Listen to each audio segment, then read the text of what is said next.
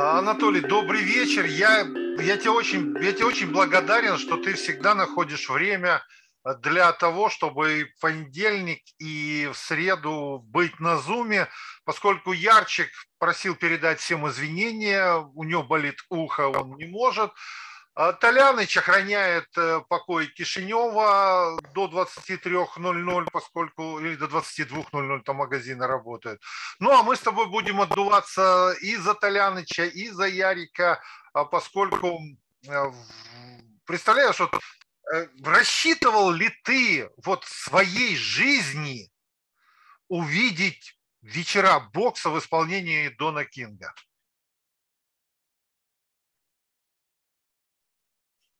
Толяныч, вернись, я все прощу. А, э, еще раз что-то у меня...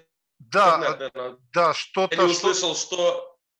Э, смотри, рассчитывал ли ты в своей жизни, в своей жизни, вот, увидеть вечера бокса, а, которые, в общем, собственно говоря, организовывает Дон Кинг? Это событие, то, что это организовывает Дон Кинг, больше особо нечего говорить. Потому что Дон Кинг давно слетел э, как бы с лидерских позиций как промоутер, и когда-то он был, конечно, очень-очень, но сейчас это, это такое, даже я бы сказал, не слабое подобие, даже трудно подобрать из что, что это сегодня, э, это событие, как, с чем его можно, можно сравнить. Вы хорошо сказали, что когда-то мы Э, все очень были недовольны поединками э, Джонни Руиза, там, Эвандера Холлифилда и, такого, и считали, что это полный трэш. Но на сегодняшний день то, что нас ожидает в поединок э, Брайанта, я даже не могу вспомнить его соперника, то это, конечно... Натан Гуидри. Гуидри, да, это, конечно, у нас это, это, это серьезное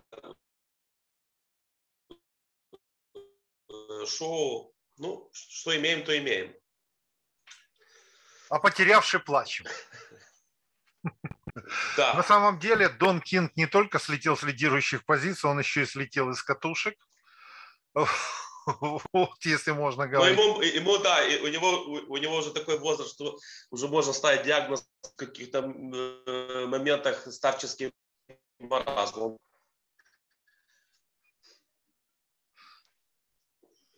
Что-то, Толяныч, э, не знаю, ты меня нормально слышишь или тоже я морожусь? Не, нет, все хорошо, все слышно. Потому, все что, потому что у меня ты, ты замираешь на время, я не могу понять э, почему. Давай, может, не так быстро говорить, э, попробуешь, угу. чтобы буферизация была. Хорошо, скажи, Хорошо. пожалуйста, а что ты, что ты ждешь от поединка а, Брайана, Тревора Брайана против Джонатана Гуидри. Вообще, вот как для человека, который является специалистом, но не слишком погружается вот в эти все подводные камни, а, что для тебя вот этот поединок?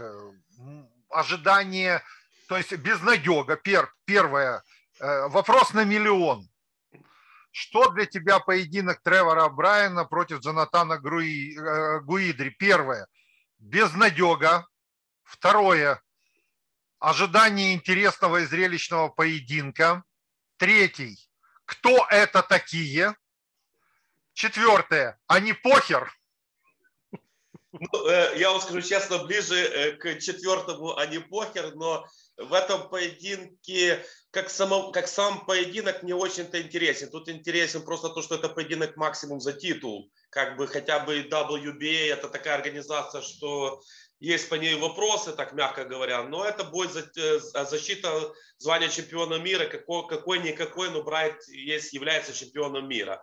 Другое дело, победа, ну однозначно Брайант обязан проходить, и будет смешно, если он не сможет выиграть или выиграет очень неубедительно. Хотя у него тоже большой простой, и физически он выглядел э, даже в победном бою со Стиверином так себе, больше похож был на парня, который любит посидеть в пабе, погонять хорошее э, пивко, такое с животиком, и не сильно он атлетичен, видно, он особо по поводу этого и не парится. И ну, неизвестно, ну, слушай, ну ты прям меня описал. Ну, вам-то можно, а он вроде как еще действующий э, боксер, еще и чемпион мира, поэтому тут такое дело.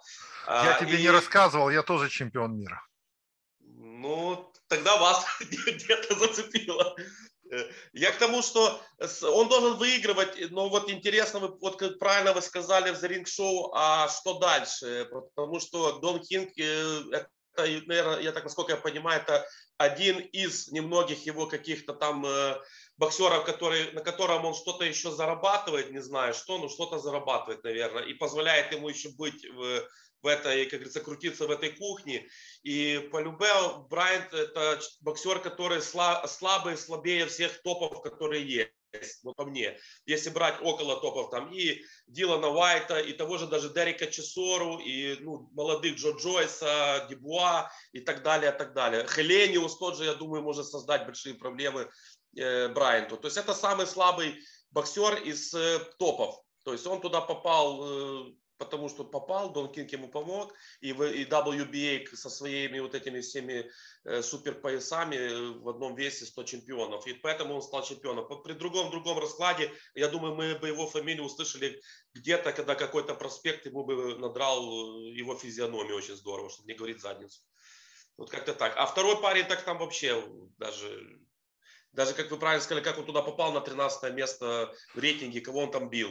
Ну не, но у меня есть как бы пара предложений. Глядя на Дэвида Морелла во втором среднем весе, как он уже да. там в пятом поединке стал чемпионом мира, то где-то там тоже через постель Жилберта Мендоса.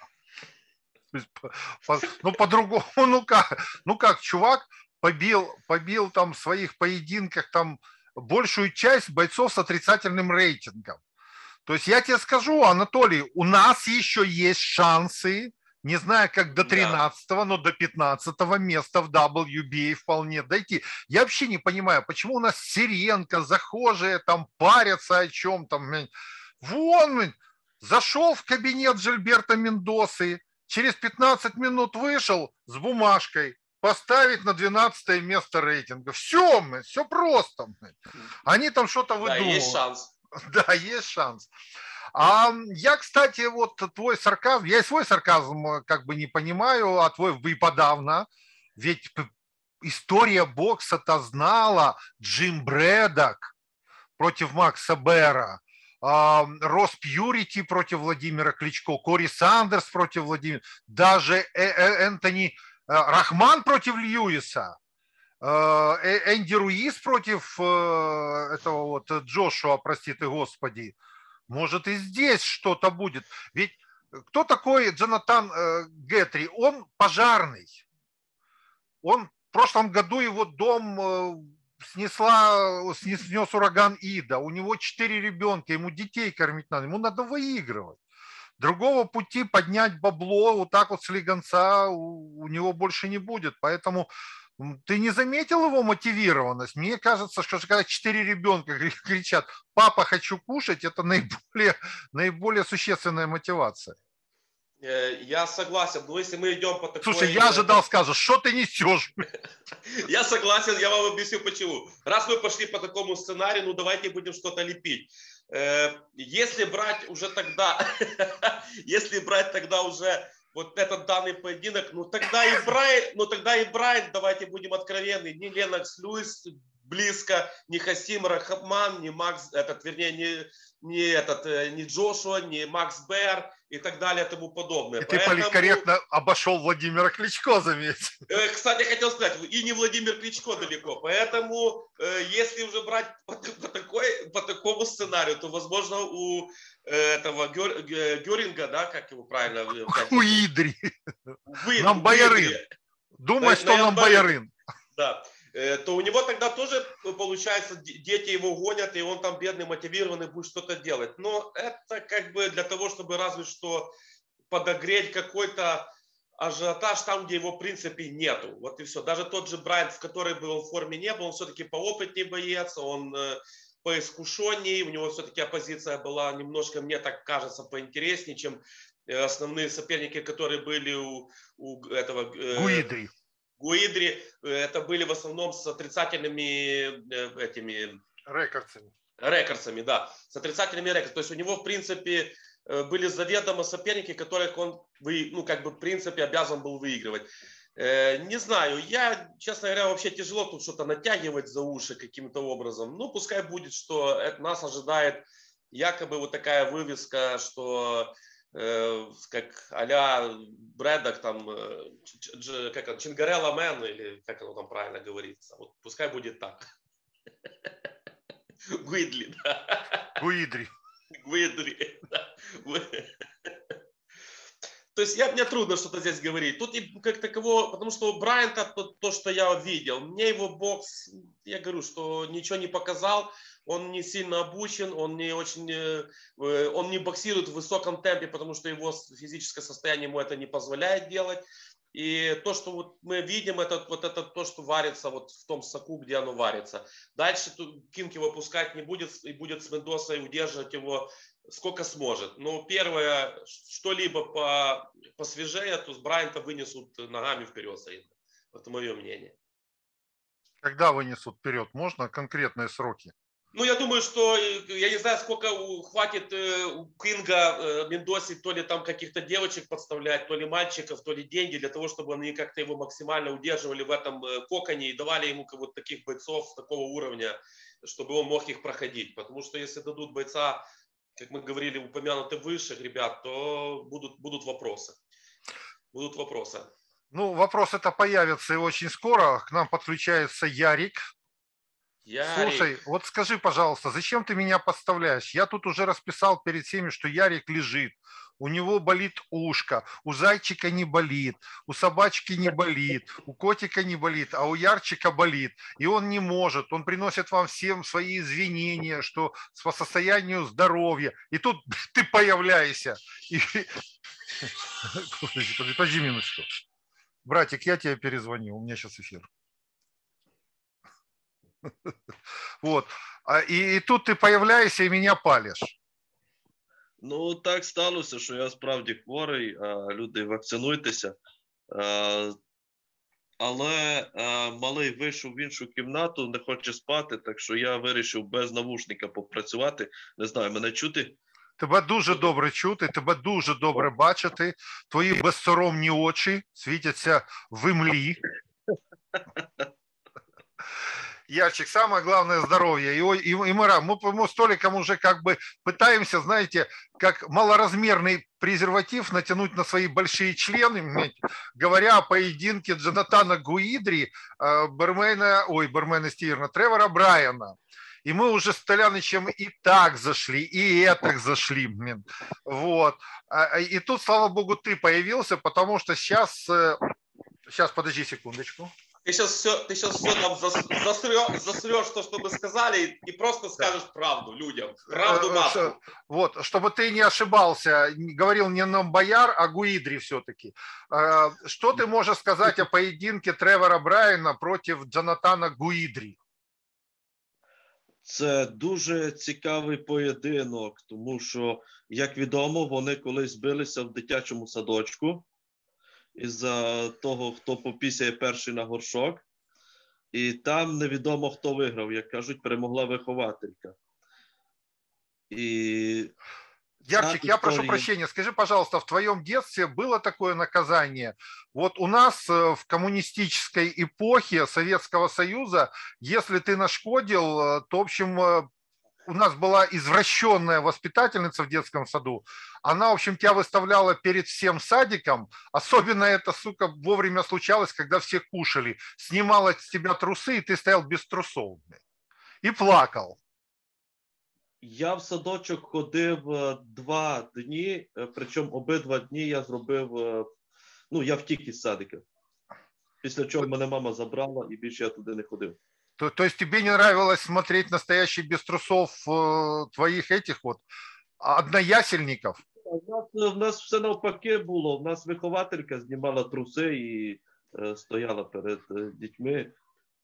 То есть, то есть зрелище, как говорил наш порторг, действительно было ужасным. Я просто расскажу анекдот, когда жена возвращается из загранкомандировки, и говорит, муж спрашивает, а где была? Ну, ходили в музеи. Ну, ладно, в музеи. Вот, в рестораны, класс, в рестораны. Ну, и стриптиз смотрели. Ой, а что такое стриптиз? Расскажи. Слушай, что я тебе буду рассказывать? Я тебе покажу. Задернула шторы, поставила пластинку Поля Мария там, вот, включила торшер, начинает раздеваться. Муж смотрел, смотрел. Правильно говорит наш парторг. Стриптиз – это охуительно хуевое зрелище, блядь. Добре. Ну, побилися вони в дитячому садіку, а далі що було? Так, наперед прошу вибачення у моєї виховательки в садочку. Я навіть не знаю, хто в мене там вихователька була, але. Ну ясно, ти її помнив тільки до от, от, от ног до, до, до пупка. Але я втік звідти, так що. Я тебе розумію. Що можна казати про цей вечір боксу загалом? Е, таке враження, знаєте, можна провести паралелі. Це паралельний світ. Е, є бокс, е, є чемпіони світу здорової людини, а є чемпіони світу курця. От це все WBA, чемпіон, це чемпіон курця, можна сказати. Як і поєдинок, котрий зробив Дон Кінг, показуючи всім своє величі, а насправді це навіть не мильна бульбашка, тому, тому що мильна бульбашка це красиво. А це просто такий, знаєте, пук від проктальних свічей. Це ні на що хочеться на щось натягнути сову на глобус. Але що тут що тут обсуждати? Я дивився у The Show ці поєдинки цього вашого. Неважливо, як його навіть Неважливо. Да, ну, Кому це кому це важливо, кроме його мами, як його звати? І то не факт, тому що, судячи по тому, з ким він б'ється, мама а, при пологах кидала жереб, що залишити плаценту чи його. Тому що він настільки абсолютно неважливий. Слушай, про, про ректальные свечи есть хороший анекдот. Когда чувак приходит к проктологу и говорит, у меня проблема там, доктор. Тот, тот посмотрел, говорит, вот вам свечи, принимайте по одной на ночь, через неделю появитесь. Тот приходит через неделю, ну как, говорит, доктор, ну никакой реакции, в общем, все по-прежнему. Говорит, Тогда вот по две свечи перед сном принимайте, все будет хорошо. Тот приходит через неделю и говорит, доктор, ну вообще не помогает. Тот посмотрел, ну изменений никаких нет. Говорит, вы что, жрете их? Нет, в жопу засовываю. Ясно. Хорошо, ну, ребята, ну. давайте, в общем, прекратим издеваться над э, поединком э, Тревора Брайана против Джонатана Гуидри. Вот. Але, э, але цього поєдинку можна висмоктати. Ну тут що не візьмеш, поєдинок позбавлений абсолютного сенсу. Ярчик, я с тобой абсолютно согласен. Мне гораздо интереснее было бы послушать, как выглядела твоя воспитательница в детском саду с точки зрения твоей той психологической травмы, которую она тебе нанесла. Ну, я вам скажу так: дивитися в дзеркало на своє бородате обличчя мені дотепер страшно. Я от только-только ты сорвал у меня, у меня, у меня эту фразу, просто бесцеремонно спиздил ее просто.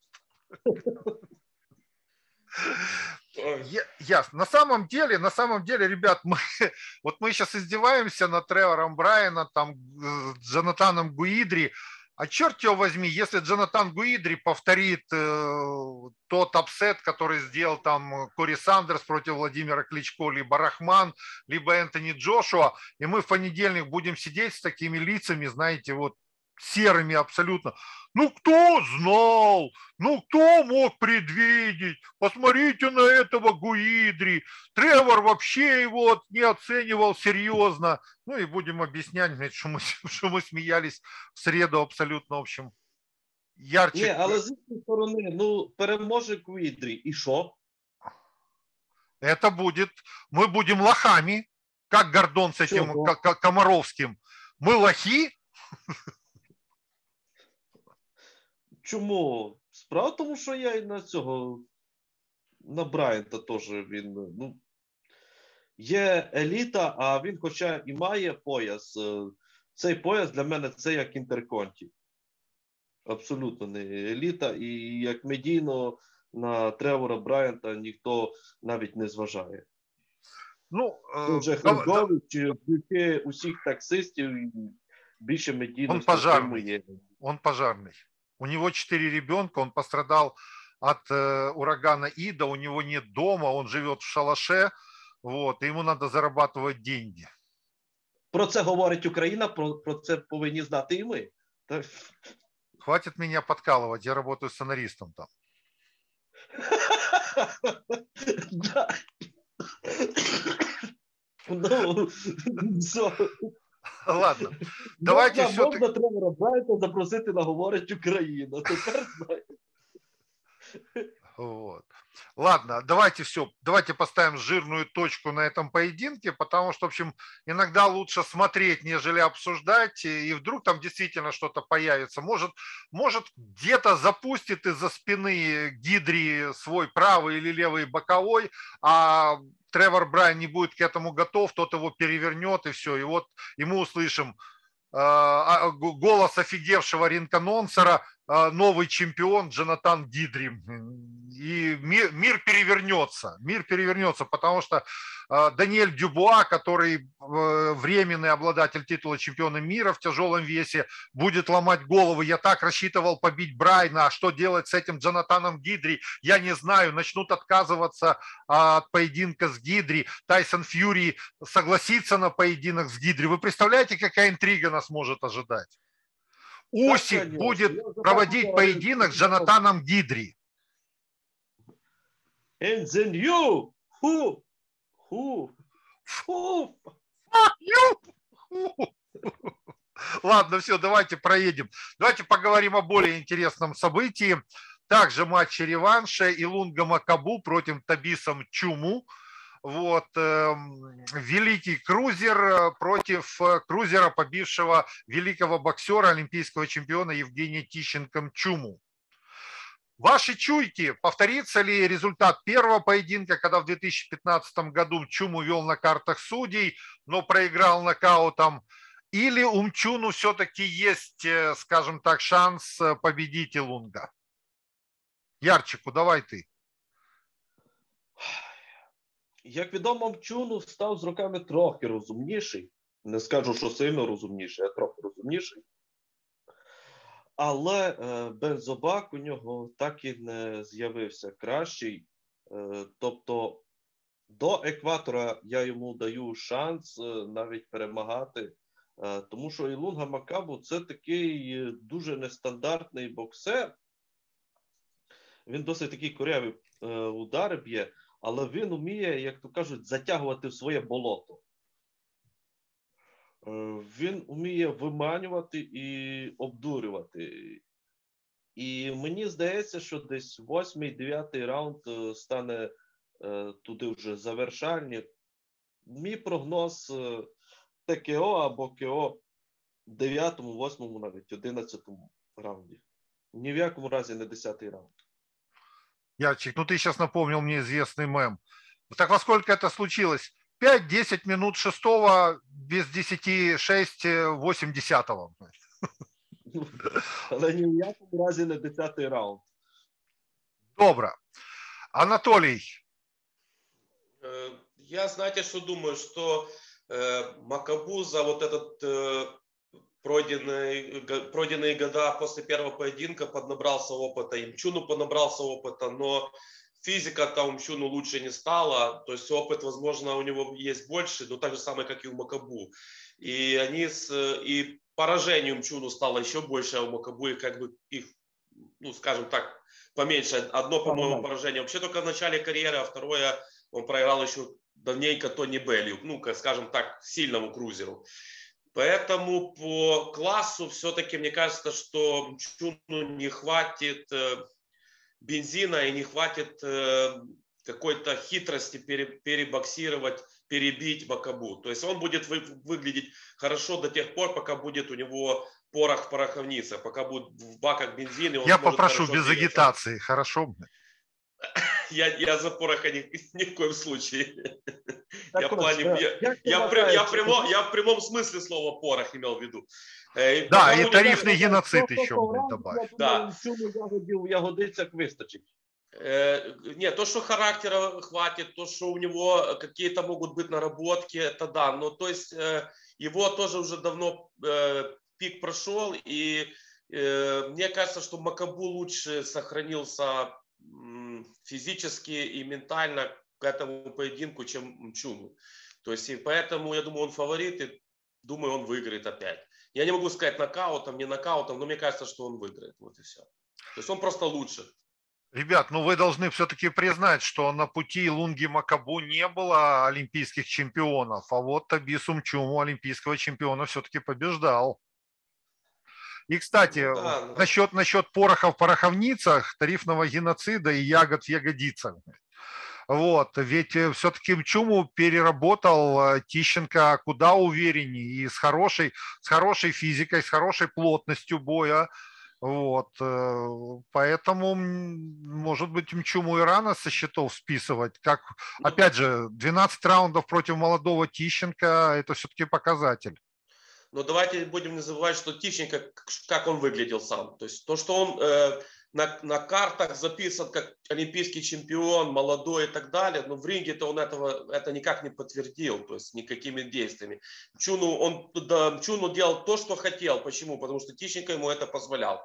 А Макабу все-таки, мне кажется, в этом плане парень по искушению будет. И э, даже если он будет давать Чуну делать то, что он хочет, это все равно будет дело времени, это будет какая-то э, притерка, скажем так, к нему, чтобы потом начать делать свою игру, играть свой, свой бокс, делать, навязывать свою, скажем так, и, игру в ринге. То есть вот мне так почувствовалось, что он все-таки поумнее в плане боксера э, в, будет в этом поединке, чем выглядел Тищенко. То есть Тищенко был простой, как 5 копеек, как двери. Имчуну с ним делал, что хотел. И эта вина была в первую очередь Тищенко, хотя не, нельзя сказать Шумчуну, это его тоже заслуга, потому что он воспользовался неграмотно.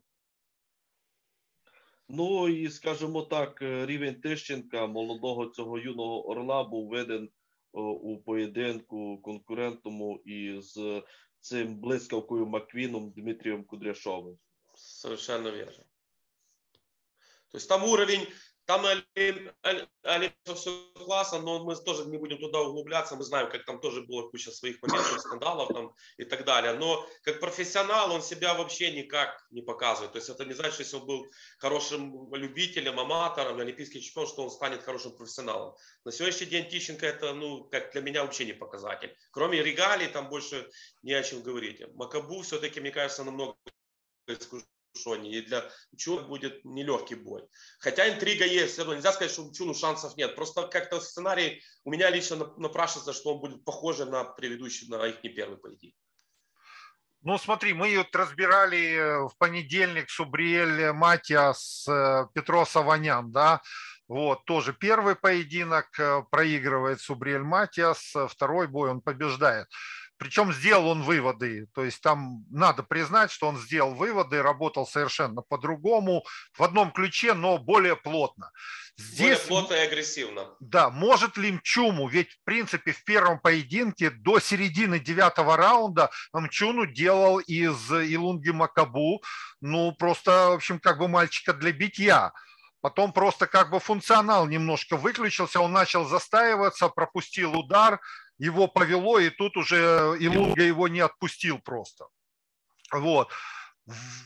Как вы считаете, с точки зрения первого, понятно, там 2015 год уже столько воды утекло, что э, как бы оба бойца изменились и ментально, и опять же, как ты говорил, Анатолий, и по опыту, и по качеству своего бокса. Но возможно ли, что Мчуму помня о вот первом своем поединке, будет более расчетливым, но таким же, скажем так, настойчивым. Не считаете ли вы, что все-таки у Мчуму есть шанс? Шанс есть всегда. Не, я, я не сказал, что Чуну как бы это как бы про, проигранная монета э, и у него шансов нет. У него шанс есть просто если он действительно, как вот вы правильно заметили, сделает, э, сможет сделать свою физическую форму Э, таковую, которая будет э, готова все 12 раундов, он сможет э, быть в том темпе, в котором он был в бою 15 года, хотя бы приблизительно действовать вот так вот быстро, накидывая, накидывая, зарабатывая очки и, не, и стараться не подставляться под тяжелые удары Макабут, то, конечно, у него шанс есть, и он даже может и попасть здорово. Он тоже парень такой, что удар-то есть, может попасть. Или за счет ножа он может тоже как бы перевернуть на себя. Но вот именно вот в этом Сазовгостка сможет ли он э, спустя уже столько лет после первого поединка быть в такой же хорошей физической форме или лучшей. И насколько он не истраченный боксер за это время. Вот, вот, вот тут момент какой-то, вот, мне кажется. Что он более истраченный, чем Макабут. Мне так почему-то кажется. Ну да, у него было два Вчера... довольно-таки неприятных проигрыша и против Константина Баженару, и Усик его, как ну, Усик там вообще там говорить нечего да, даже это вот э, Усик э, его переиграл в одну калитку, но с другой стороны Имчун так поединку не был готов, слишком он на коротком уведомлении взял да, этот да. бой. Но, по крайней мере, боксировал, скажем так, довольно-таки неплохо. Неплохо, и у Саши было очень, э, чувствовал, что он не мог никак принавари, при, пристроиться к его стилю, вот к этим низким уходам, и то, что он такой некрупный, и было чувствовалось, при том, что он выигрывал, но он мне кажется, что испытывал большие такие неудобства в ринге с Мчуну. То есть какой-то, хотя бы какую-то первую половину поєдинка. Ярчику, а що ти хочеш сказати? Я хочу сказати, що з Мчуну нікому зручно не буває. Особливо першу половину бою він страшно сильно а, нестандартний. Навіть з тим же Усиком Усик а, пішов з поєдинку з Мчуну з величезним фінгалом. Ще з нього кепкував Віталій Кличко. Тобто, це такий нестандартний боєць.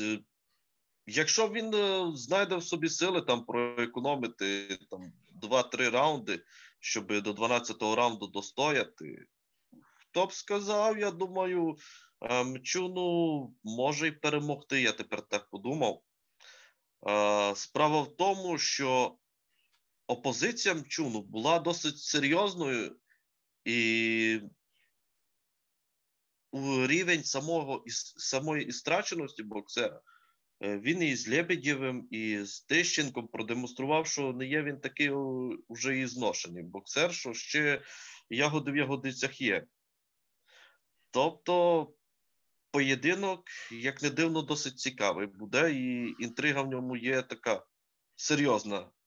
Я даю 60 на 40 на користь Макабу, але мчуну не списую мы много говорили о том, что крузер, э, скажем так, это, это болото, то есть бывают там какие-то там ирригационные работы дренажные, то есть иногда его зачистят, и тут красивое озеро с лебедями, а потом все опять зарастает ряской и тиной, и вот э, ерунда полная получается. Можно ли считать поединок Килунга Макабута Бисум Чуму э, суперфайтом? Ну, мегафайтом нет, суперфайтом.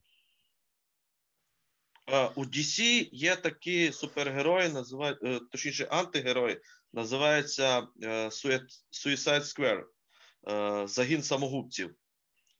От, Я би це називав бій самогубців, тому що по-любому, хто з них переможе, в наступному поєдинку програ... повинен програти Саулю Альваресу. Ну тут ти немножко не прав. Вот. Э, какие, какой бы самоубийца не был, он продаст себя Саулю Альваресу намного ну, дороже, нежели Бог. Якщо ви дивилися загін самогубців, там теж е, е, великий куш отримали переможці. Так що там. Ты знаешь, я недавно, я посмотрел э, этот вот э, отряд самоубийц, и вот недавно вместе с дочками э, посмотрел «Вечные». Э, я теперь понимаю певцов, да, потому что смысл песен приближается к наскальной живописи. Вот. А такое, знаешь, впечатление, что снимают все, кто купил 14 iPhone, вот, и умеет что-то делать Final Cut.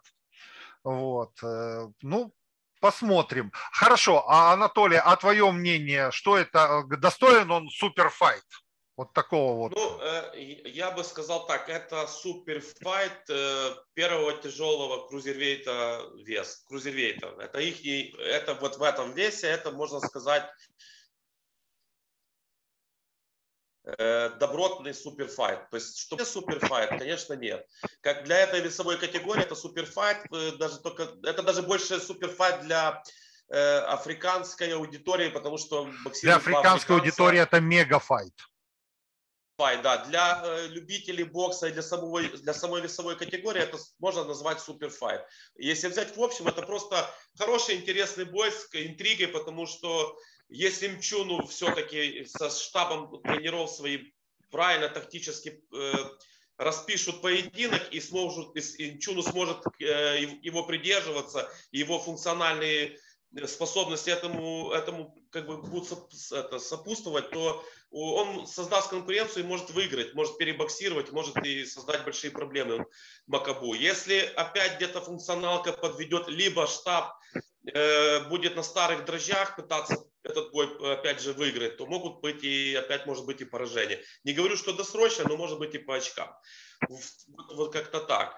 А что касается того, что любой из них потом э, должен проиграть Альваресу, ну это то, что видим мы, а поединок может быть совсем другой. Альварес все-таки залазит ребята в вес 90 э, килограмм, как бы ни было, там можно и самому нарваться. Понятно, он лучше как боксер, понятно, он быстрее, понятно, он, у него другое мышление, но иногда бывает этого недостаточно в бою с большим бьющим парнем. Где-то заплакал один Альварес в Мексике. Ты такой хороший. Ты такой брильный. Это, это кто здесь? Кто здесь? Ярик завис, я не могу понять, что он говорит. Ярик, ты просто завис, и, и мы слышим что-то, знаешь, какое-то как привет, привет э, батька Гамлета. мы, мы не разобрали. Ярчик, что ты говорил? Я кажу, Анатолій такий оптиміст. Він такий мрійник, так так, так все добре розписав, що аж аж хмаринки там десь е, позаду його навушників почали порхати. Ну, Саме головне, насправді мені я, здається, я скажу, що... світ більш сірий. Але у Ярчика температура, а вокруг него минус 40. Я вам скажу, почему еще так общался тоже у меня есть товарищ, который сам боксировал э, неплохо на аматорском ринге, тоже имеет понятие. Мы как-то обсуждали тему э, такого, скажем так, э, поединка, как, ну, на тот, на тот момент это был Макабу и Альварес, и вот он как бы выразил свою точку зрения, что как раз с Макабу у Альвареса будут большие проблемы, что этот парень сможет ему навязать такой поединок, где Альварес не будет выглядеть так круто, как как он выглядит везде. И как бы эта точка зрения, ну, интересная тоже, поэтому я ее не списываю с, со счетов. Знаешь, я тебе могу сказать, что Альварес, э, заметь, никогда круто не, вы, не выглядит вот в основной части боя. Вот в концовке ну, да. он выглядит круто, а в основной части боя никогда не круто. И по поводу хмарынок, э, есть еще один такой анекдот, когда мужик приходит к врачу и говорит, доктор, у меня болит голова. Тот говорит, ну пьете до хрена. Тот говорит, доктор, я в жизни не выпил ни капли алкоголя, я трезвенник абсолютный. Говорит, курите, бывает такое, когда много курите, никотиновое похмелье, болит голова. Говорит, доктор, я не выкурил ни одной сигареты. Ну, бессонные ночи с женщинами тоже как-то дают о себе. Доктор, я девственник. Ну, тогда идиот, ним святости слишком жмет тебе голову. Ну вот. А, давайте смотреть. То есть э, мне все-таки, знаете, как если, если говорить по э, вот по состоянию поединков, то это Вальдес, э, Берланга, вот, это где-то тот же самое противостояние там Паркера против Чесоры. То есть это поединок, который может быть даже при каком-то пренебрежительном к нему отношении все-таки хочется посмотреть, потому что интрига присутствует. Самое главное, интрига. Два южноафриканских бойца, которые на таком высоком уровне еще не выступали. В истории бокса не было такого, что вот два южноафриканских бойца, точнее южноафриканских, несмотря что и Лунга из Конго, он прописан в ЮАР, вот, проводят такой поединок, который все-таки значим для сегодняшнего дня мира бокса. Поэтому будем смотреть. Э, я считаю, что единодушным решением судей победит Илунга Макабу. Опять же, за счет своего опыта и за счет э, того, что все-таки он командует боем, а не Табисум Чуму. Ну а каким будет результат и э, как, собственно говоря, прошел этот поединок, мы узнаем уже в воскресенье рано утром. Ну а в понедельник встретимся и обсудим перипетии не только поединка Лунга Макабу и Табисом Чуму, но Тревора Брайна и Ярчик. І його опонента, його жертви. А ну, Анатолий, удиви нас. Этот, Гири, Гири, Гири. Гири.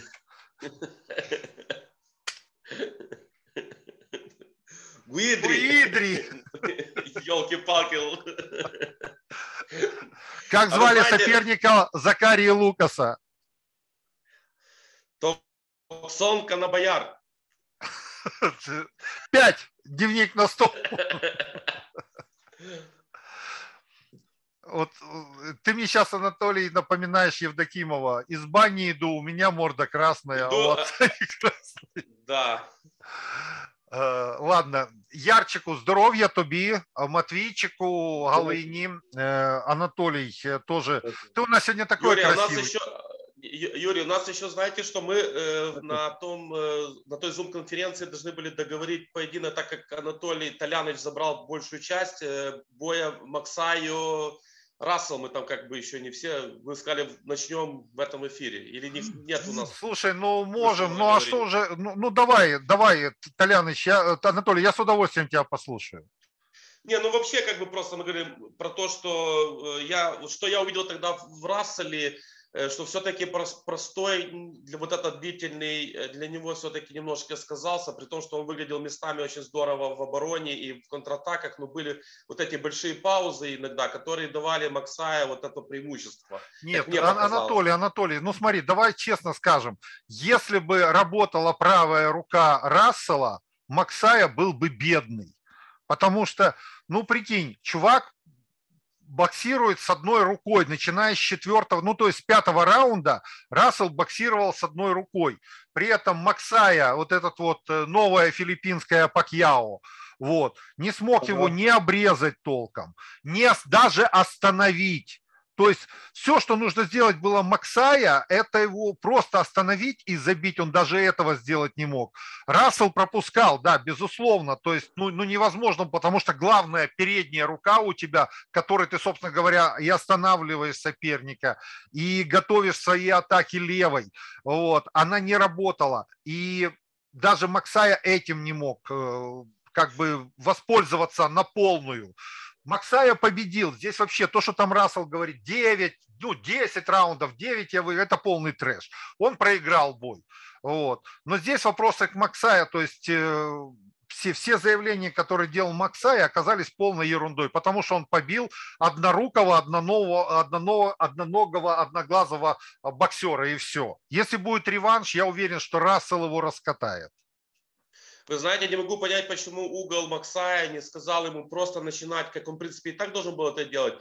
А с, с учетом того, как сложилась ситуация, что э, передняя рука Гарри Рассела была, не, не функционировала, ему надо было просто участить все атаки с правой руки Максая. И он бы просто бы вообще его обезвредил, потому что передняя рука не работает, а левая бы вынуждена была быть на, на блоке для того, чтобы как-то защищаться от, этих нас- наседаний справа. Но он этого не делал. Это, конечно, очень обидно, печально. Анатолий, него- нет, нет, нет, вот представь себе, если бы Максая, Максая, то есть правильно, против левши надо начинать справа и заканчивать справа. Но а, если бы Максая, Максая прекрасно понимал, во-первых, ты э, ну, требуешь от Максая того, что может делать Рассел.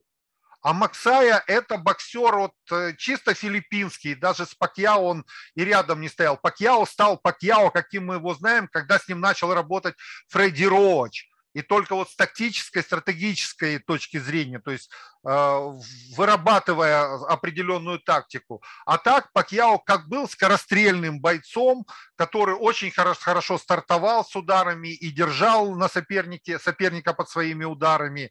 Вот и все. Максая – это просто, в общем, третьеразрядный боец, э, которого аккуратненько провели, и вот как бы фарт ему выпал то, что у Рассела была одна рука. Максая просто не может делать то, что ты от него требуешь. Для того, чтобы вот начинать справа, заканчивать справа, нужна, во-первых, очень хорошая ручная скорость, очень хороший тайминг. И самое главное, работа в коротком коридоре, не размашисто. Все удары Максая – это были удары колхозника. Вот, собственно говоря, почему он этого не сделал. И угол прекрасно понимал, что то, что ты говоришь, Максай просто по факту выполнить не может. Вот, да. вот, вот, це правда. все.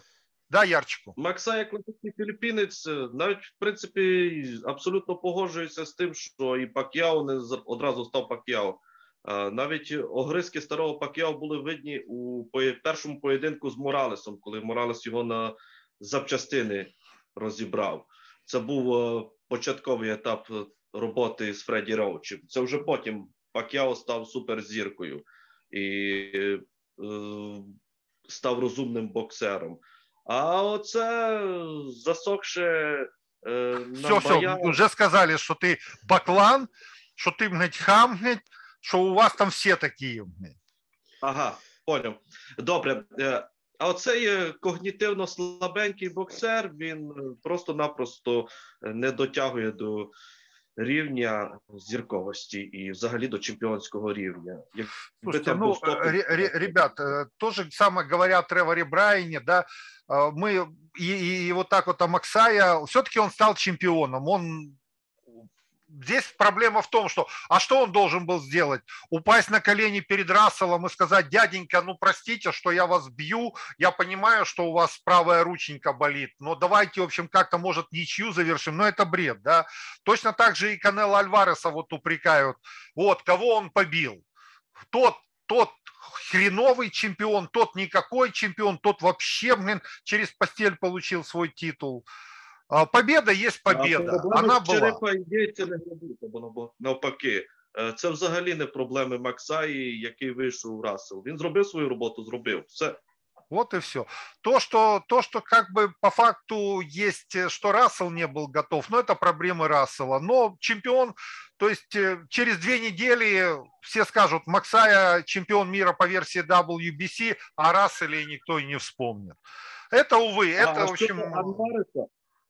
Щодо а? Альвареса, він е, я вважаю красень в тому плані, що він взяв і зачистив абсолютно дивізіон.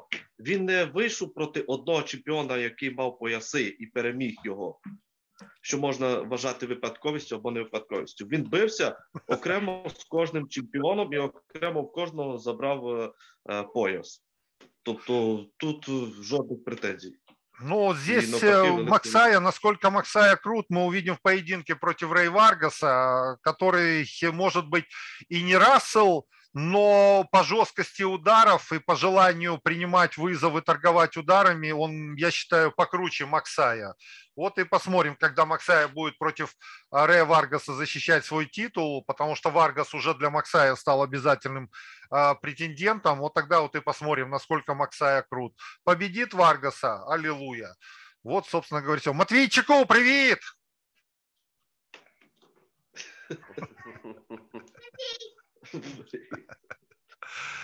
Окей. Э, про Субреля Матиаса будем говорить?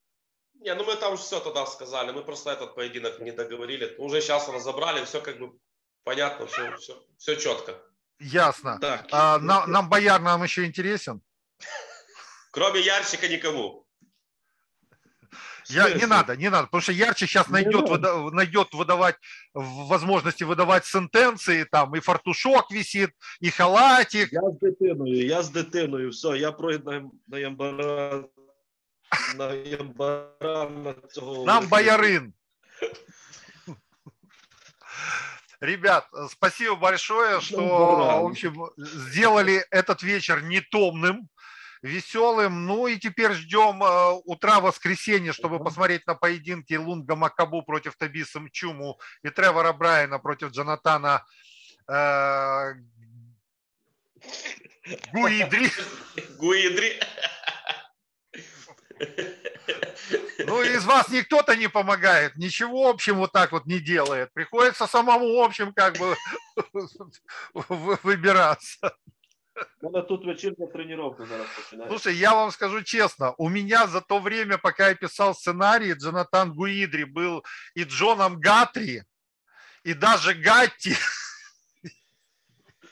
Он должен, на- он должен за, за, за столько вот, э, за то, что мы его фамилию сколько учим, выиграть, и тогда придется ее точно уже запомнить. Ну, слушай, я не против, если честно. То есть, Я тоже. да, в WBA нам любой кипиш, кроме пенсии. Все, тогда увидимся в понедельник. Э, Всего доброго, берегите себя, выздоравливай, Ярчик. Вот. Ярчик, давай выздоравливай. Анатолий, Дякую, выглядишь дякую, великолепно. дякую. У тебя парикмахер мужчина или женщина? Мужчина. Лучше была бы Женщина. женщина.